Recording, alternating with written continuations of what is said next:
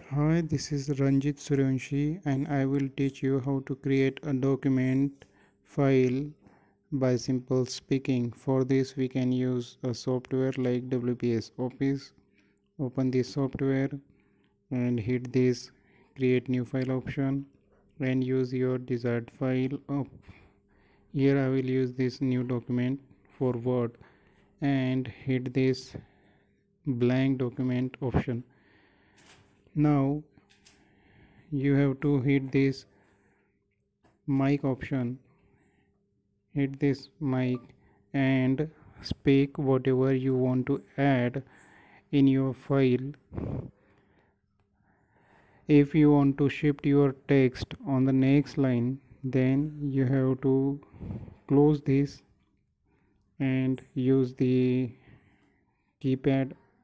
Manually you can uh, shift your cursor to the next line by doing this.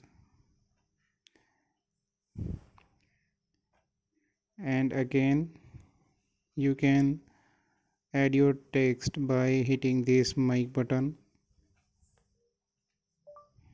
Add your text to the new file after do, doing this you can you have to hit this small icon which is for save file. It is it is to save your file.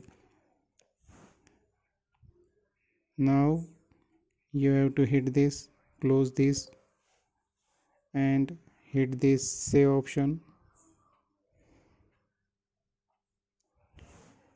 Here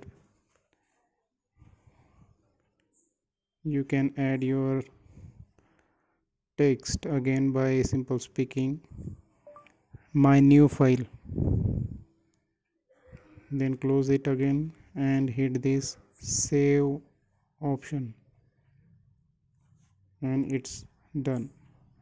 In this way we can create the new file by simple speaking. Thank you